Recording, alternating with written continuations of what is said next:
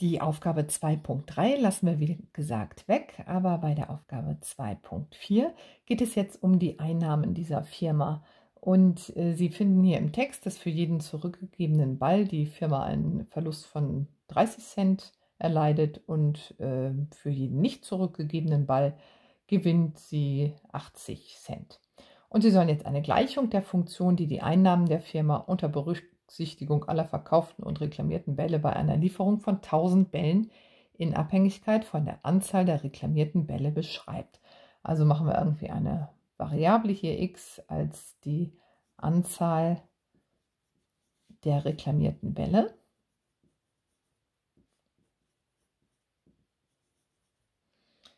Und ja, welche Einnahmen kann ich jetzt hier bekommen? Da habe ich jetzt also 1000 Bälle insgesamt, von denen ich aber x Stück reklamiere. Dann weiß ich, wie viel ich noch behalte und für die verdiene ich ja immer gerade 80 Cent. Also 1000 minus x ist die Anzahl der Bälle, die nicht reklamiert werden und die dafür, damit verdiene ich eben diese 80 Cent, also mal 0,8.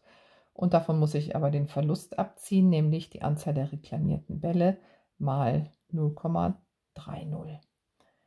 Die Gleichung kann man noch ein bisschen schöner schreiben. 1000 mal 0,8 sind 800 minus 0,8x minus 0,3x. Dann habe ich hier also 800 minus 1,1x. Das wäre die Gleichung, mit der wir hier weiterrechnen dürfen. Und wir sollen jetzt die Wahrscheinlichkeit berechnen, mit der die Firma bei einer Lieferung von 1000 Bällen einen Gesamtgewinn von mindestens 750 Euro erzielt. Also dieser, diese Einnahmen hier sollen ähm, jetzt eben größer sein als 750.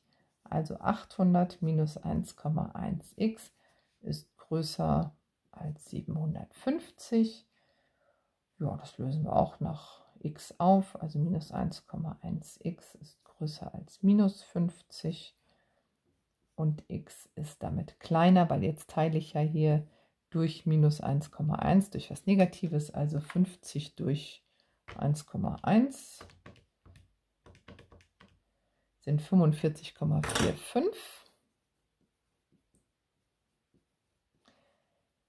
Also x muss kleiner sein als 45,45, also die Anzahl der reklamierten Bälle muss kleiner sein als 45, also maximal 45 Bälle dürfen zurückgegeben werden.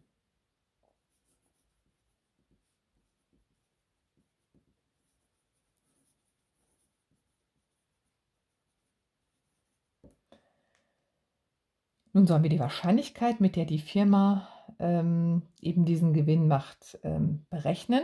Also wie wahrscheinlich ist es, dass 45 Bälle höchstens zurückgegeben werden?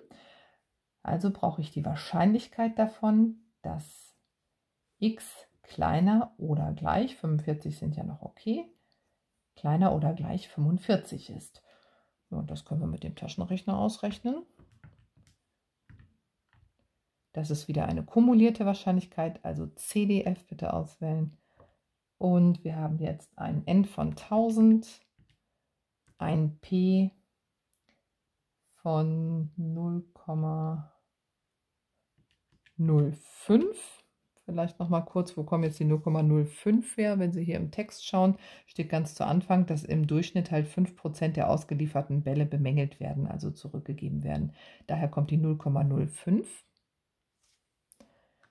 und x ist 45 und dann schauen wir mal, was da rauskommt. Das sind 26,1. Also 0,2609.